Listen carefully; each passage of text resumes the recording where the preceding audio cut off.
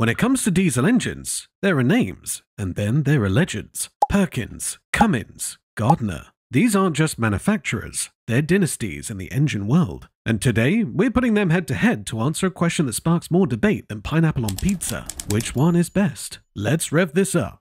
Before we dive into pistons and power curves, let's meet the legends vying for diesel domination. Perkins, the understated workhorse from the UK. While not as flashy as some of its peers, Perkins built its name on reliability, versatility, and honest engineering. From tractors to generators, construction equipment to marine craft, Perkins engines are the quiet backbone of many industries. They're not built to impress, they're built to work. Dependable, durable, and widely respected for getting the job done without the drama. Cummins, the American powerhouse with a British footprint. Though American owned, Cummins engines have a long standing presence in the UK, with many built right here on British soil. Known for their rugged durability and no nonsense performance, Cummins engines have powered everything from colossal mining lorries to everyday haulage workhorses. British manufacturers like ERF, Seddon Atkinson, and Leyland famously turned to Cummins for reliable grunt, especially with classics like the NH220 and the later 14 litre Big Cam series. If it hauls heavy and works hard, chances are there's a Cummins doing the dirty work.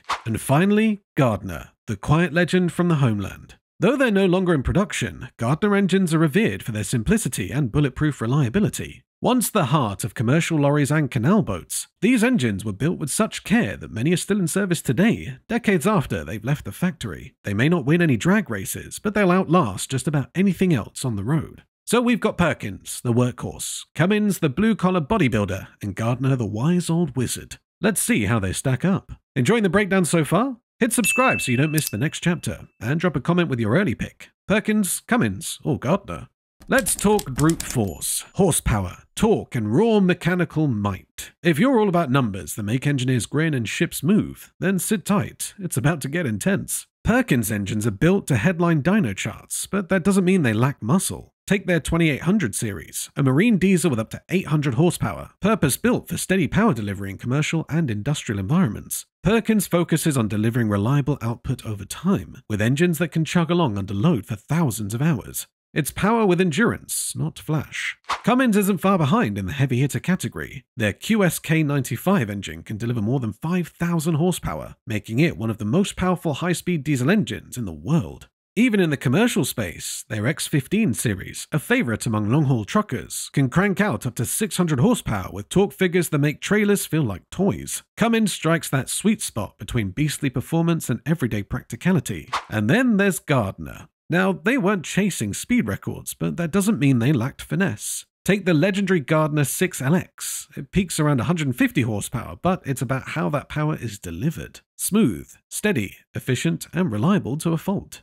It's not the guy flexing at the gym, it's the one quietly lifting twice your weight. Verdict? For sheer horsepower, Cummins dominates. Perkins delivers endurance driven performance. Gardner? Well, it wins hearts, not races. This is where things get spicy, because horsepower is sexy, but reliability keeps your wallet and your weekend intact. Let's start with Cummins. These engines are legendary for their toughness, especially in commercial fleets where uptime means everything. Built to eat up miles like penny sweets, a well maintained Cummins can easily run for hundreds of thousands of miles, sometimes even over a million. Farmers trust them in tractors, truckers in their rigs, and preppers in their bug out vehicles. They're tough, rebuildable, and globally supported. But when it comes to sheer longevity, Gardner takes it to another level. These engines were born in an era when over engineering was a badge of honor. Many Gardner engines, especially the iconic 6LX, are still running smoothly 60 or more years after they were built, often with just basic care. No electronics, no flashy sensors, just solid metal, perfect machining, and legendary British craftsmanship. For some, it's not just an engine, it's a family member.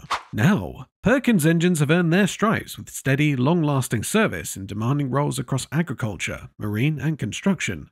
They may not break records, but their reputation for rugged simplicity and ease of maintenance makes them a trusted name in reliability circles, especially in parts of the world where uptime is critical and resources are limited. Verdict? Gardner wins for being virtually indestructible. Cummins is a close second, strong, reliable, and realistic. Perkins? Hmm, underrated, but incredibly dependable. Fuel efficiency isn't just for tree huggers. It's essential, especially when fuel prices seem to spike faster than a turbocharger at full boost. Whether you're running a business or cruising the canals, how much your engine gulps down matters. Gardner once again steps into the spotlight. Built during a time when fuel economy was critical for commercial viability, these engines were engineered to be as frugal as they were reliable. It's not uncommon for a well maintained Gardner to consume half the fuel of newer, more powerful engines doing the same job. They're not built for speed, but they'll stretch a tank of diesel further than just about anything else. Cummins lands somewhere in the middle. Their modern engine lines, especially those used in long haul lorries and equipment, make use of cutting edge fuel injection systems, turbochargers, and electronic engine management to balance power with efficiency.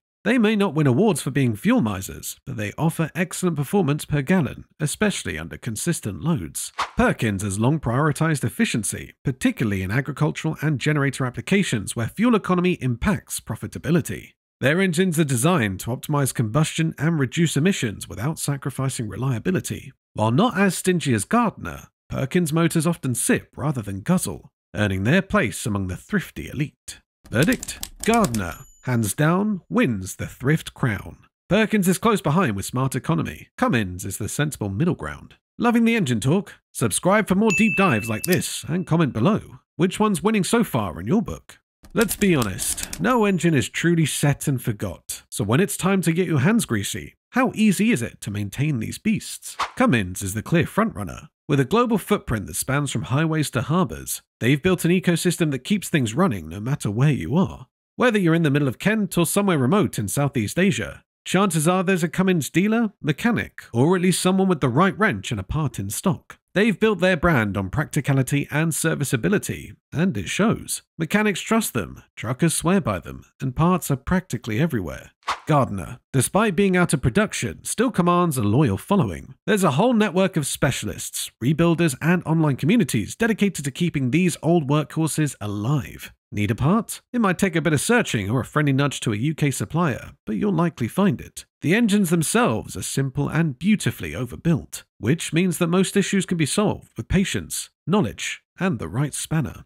It's old school, but in the best way. Perkins shines in accessibility and maintainability. Known for their modular construction and ease of repair, Perkins engines are widely supported around the world. Parts are affordable, diagrams are plentiful, and if you've got basic tools and know how, chances are you can fix one yourself. Verdict? Cummins wins for ease, parts, and practicality. Gardner earns respect for community and simplicity. Perkins holds its ground with global access and DIY friendliness. Not all engines are built for the same battlefield. Some were made for warships, some for 18 wheelers, and others for the calm canals of England. Let's see where these titans truly belong. Perkins diesel engines are the unsung heroes of hard work. From tractors and telehandlers to generators and commercial vessels, their engines power everything from farms to fishing fleets. Designed for reliable performance in long running, load heavy environments, Perkins excels in steady, real world applications. You won't find them on the racetrack, but you will find them where uptime and simplicity matter most. Cummins, by contrast, is the jack of all trades. Their engines can be found in everything from lorries, tractors, buses, and RVs to boats, construction equipment, and backup generators. That versatility is why Cummins engines are beloved across industries. Whether you're pulling freight through a snowstorm or ploughing a field in August, there's a Cummins ready for the job. It's the Swiss Army knife of diesel. Gardner was never about raw power or modern applications, it was about longevity and dependability. From the 1950s to the 70s, Gardner engines powered commercial lorries, buses, and narrowboats. Today, they're the beating hearts of restored classics and heritage marine craft. For enthusiasts and purists, they're more than just machines, they're history in motion. Verdict? Perkins for practical, everyday reliability. Cummins for all terrain, all purpose performance. Gardner for soulful, enduring engineering. Let's be honest, sometimes the way an engine sounds matters just as much as how it performs. Sure, torque curves and fuel maps are great, but there's something deeply personal about the roar, rumble, or hum that comes from under the hood. Let's start with the Gardner 6LX. It doesn't bark, snarl, or scream, it purrs. Imagine an old gentleman in a leather armchair, clearing his throat after a fine brandy. Deep, composed, and dignified. There's a warmth to its tone, a rhythm that's almost hypnotic. It's slow revving and proud of it. If you love engines with personality, Gardner Sound is pure diesel poetry. Cummins, especially the older 12 valve 5.9 litre, is a different beast entirely. It's the engine equivalent of a muscle car doing push ups, full of raw clatter, turbo whistle, and mechanical honesty. You don't just hear a Cummins, you feel it. That distinctive rattler idler whoosh under load has become the soundtrack of British motorways. Whether it's hauling freight or tearing up a dyno, it's unapologetically bold. Perkins engines aren't loudmouths. They hum, whisper, and occasionally grumble, but in a good way. Their tone is all about restraint and balance. It's the sound of getting things done quietly, reliably, and without drawing attention. A Perkins doesn't roar, it reassures. Verdict? Totally subjective. Gardner for the old school charm, Cummins for diesel aggression, Perkins for calm confidence. Let's break it down. If you want real world dependability across countless industries, Perkins is your trusted workhorse. Quiet, capable, and everywhere. Need reliability, global support, and real world performance? Cummins is your go to. It's the practical powerhouse that keeps the world moving, from highways to harvest fields. Prefer simplicity, soul, and an engine built to outlive you? Gardner wins with timeless craftsmanship and legendary durability. So who wins? Well, you do. Yeah, cheesy. Sorry, couldn't resist. My answer is all of them because each of these engines dominates its own kingdom. And the best one? It's the one that fits your world. Thanks for tuning in. If this battle of the diesel engines got your gears turning, give us a like, hit subscribe, and let us know in the comments are you Team Perkins, Team Cummins, or flying the Gardner flag?